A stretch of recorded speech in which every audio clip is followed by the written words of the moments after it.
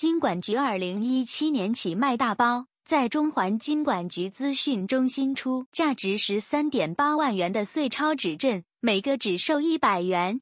不过制作过，疑似甩路。今天二十日，金管局公布，最近获悉纸阵内碎钞数量不足料，未达标签上标示的约束，会向回收市民退款，又对事件表示歉意。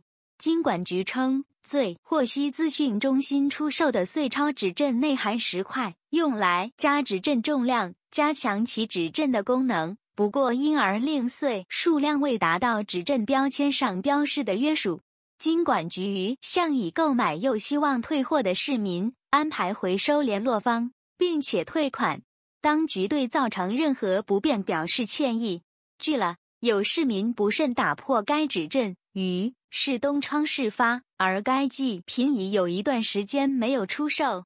这款纸阵不时在二网站出售，最新一件拍品所价六百元，比官方售价高五倍。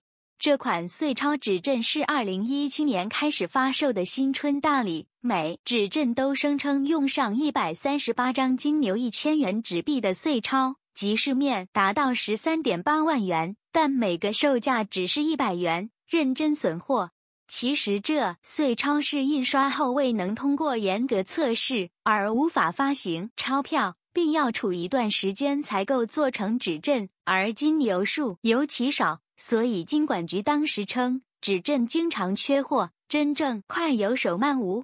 若已购买纸阵的市民希望退回货，可致电金管局资讯中心热线两千八百七十八万一千一百一十一。或电邮至宇当联络星岛 X 里大携手推动永续发展 ESG 认证华记嘉许里两千零二十三把握报名机会星岛头条 App 经已推出新版本，请立即更新浏览更精彩内容。